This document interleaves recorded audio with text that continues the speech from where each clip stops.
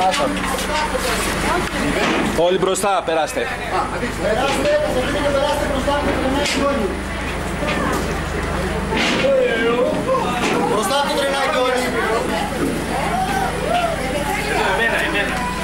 Εμένα, εμένα.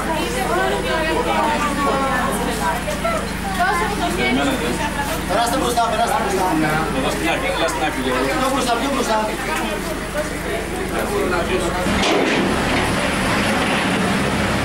Λοιπόν, τι μπορείς για να σας πω δύο λόγια.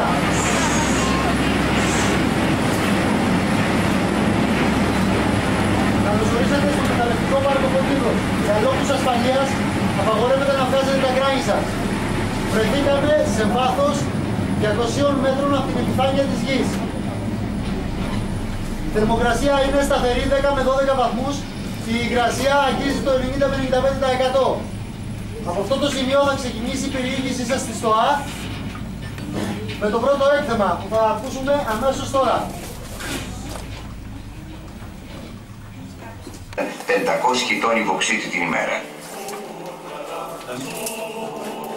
Εδώ ήταν η προσωρινή αποθήκη εκρηκτικών του κοιτάσματος και χρησιμεύε για τις εκρηκτικές ύλες και τα καψίλια που χρειαζόμασταν κάθε μέρα.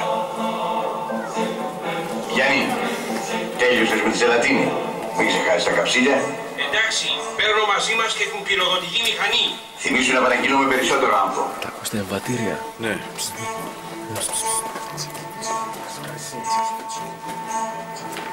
Το δάπεδο της αποθήκης ήταν πάντα ξύλινο για να προστατεύει τα εκρηκτικά από πιθανές ανεξέλεγκτες εκρήξεις.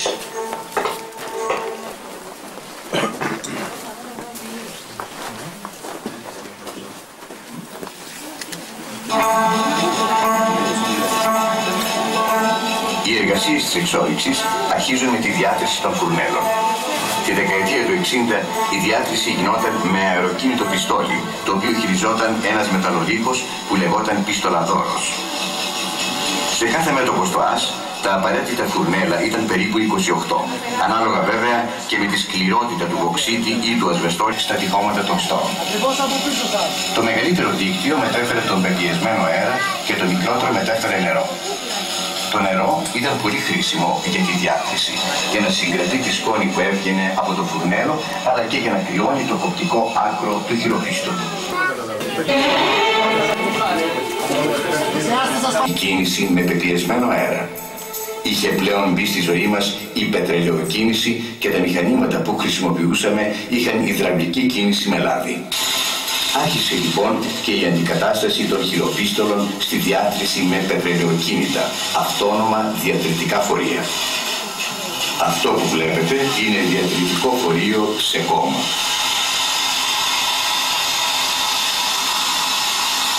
Άρχισε λοιπόν να αυξάνεται η παραγωγικότητα και η ευελιξία στη διάθεση, αλλά και η ασφάλειά μας.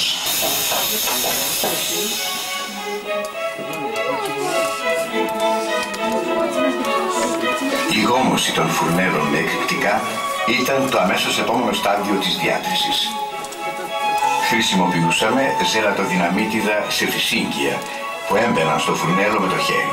Επίσης, χρησιμοποιούσαμε άνφο που ήταν χύμα και έμπαινε στο φουρνέλο με την αμφωνιέρα που δούλευε με πεπιεσμένο αέρα.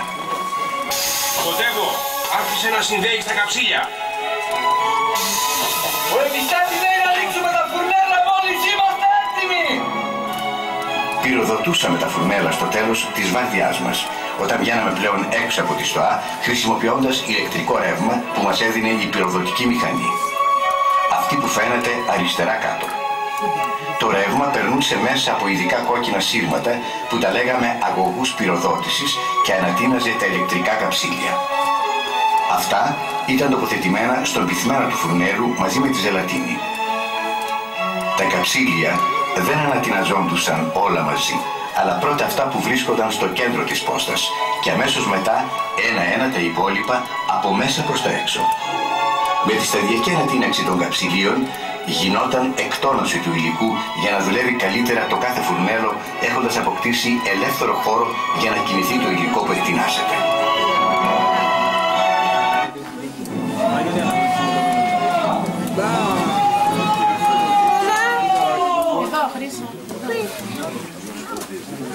Παρακαλώ. Είμαστε έτοιμοι;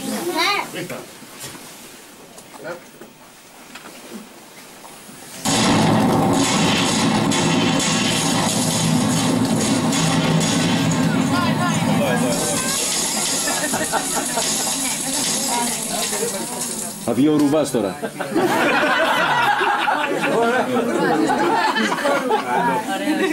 Ωραίο.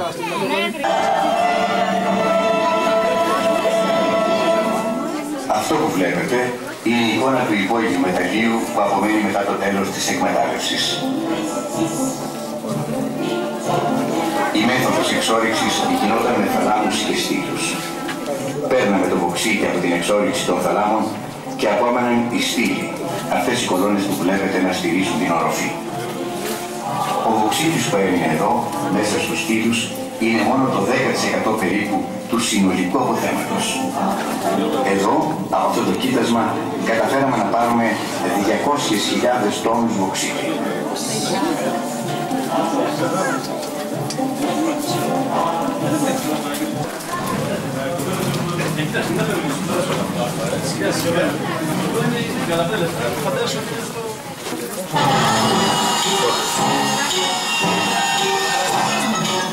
Ο ελαστικοφόρος αεροφορτωτής που βλέπετε είναι η μετεξέλιξη του αεροφορτωτή γραμμών και λέγεται αεροφορτωτής κάπου. Η ευελιξία ήταν το κυριότερο πλεονέκτημά του. Κάτι μου θυμίζει το Θανάση. Αυτό το έκθεμα.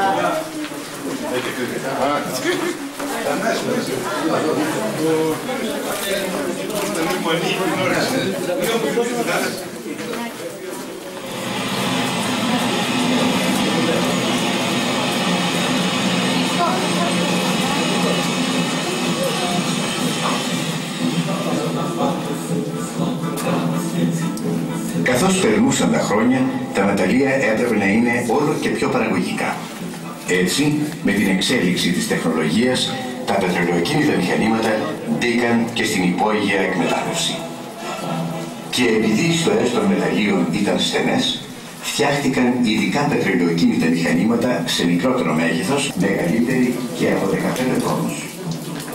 Και βέβαια, να μην ξεχνάμε ότι με την πετρελαιοκίνηση αυτή αυξήθηκαν ακόμα περισσότερο οι ανάγκες σε εξαερισμό των στόχων. Συνεχίζουμε παρακάτω.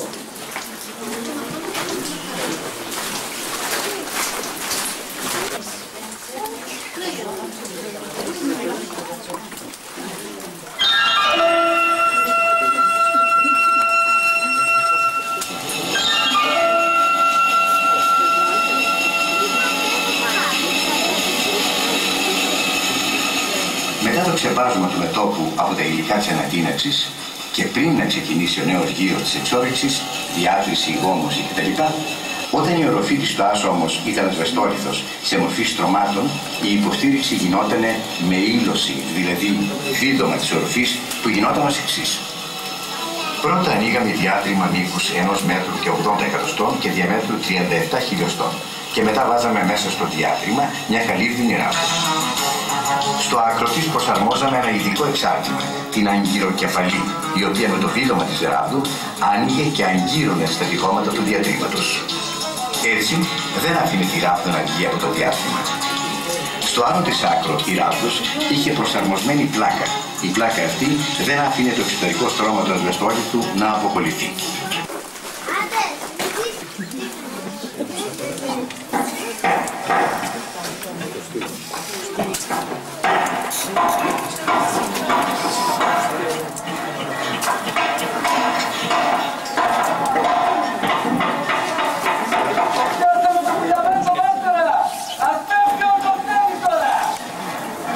Όταν η οροφή της φοάς ήταν σαφρή και δεν μπορούσε να πιαστεί με την ήλωση, τοποθετούσαμε ξύλινες κάσες. Η- Η εκμετάλλευση και κλειμένων κοιτασμάτων γινόταν από κάτω προς τα πάνω, ώστε για τη μεταφορά του βοξίτη να εκμεταλλευόμαστε τη βαρύτητα. Πάλι είχαμε διάκριση της πόστας, γόμωση και πυροδότηση όπως και τις οριζόντιες στοές. Για το ξεπάζωμα όμως χρησιμοποιούσαμε τον αμοξεστήρα, scraper όπως το λέγαμε, για να βοηθά το βοξίτη στη μεταφορά του. Στο κάτω μέρος του κεκλειμένου υπήρχε η ειδική σέσουλα από ξύλο καστανιάς για να οδηγεί τον υποξίδη στα βαγόνια. Όταν γέμιζαν όλα τα βαγόνια, είτε έβγαιναν στην επιφάνεια, είτε άδειαζαν τον υποξίδη σε λούκια.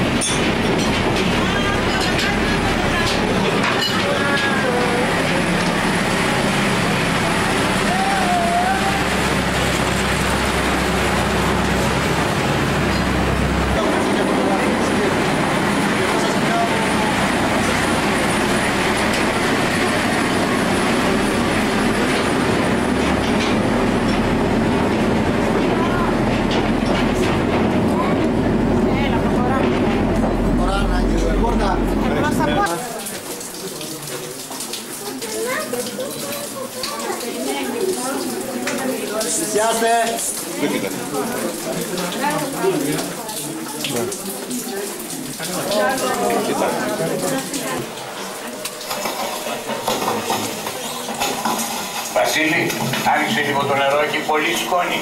Τράβα λίγο το λάστιχο. Όπου να είναι τελειώνει το χαραμάνι. Με-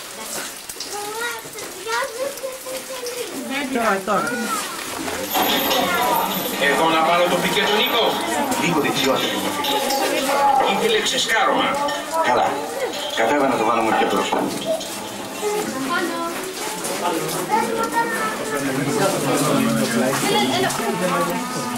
μπροστά. Λιόνιο, πόσα κουμέλα έβαλες στο 93?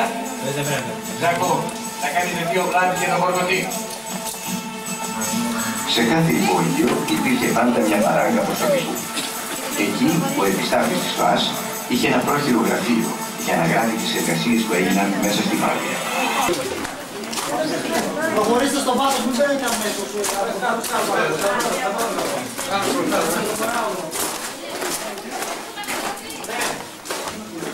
Δεν έχει άλλα. Εδώ πέρα. Αυτά.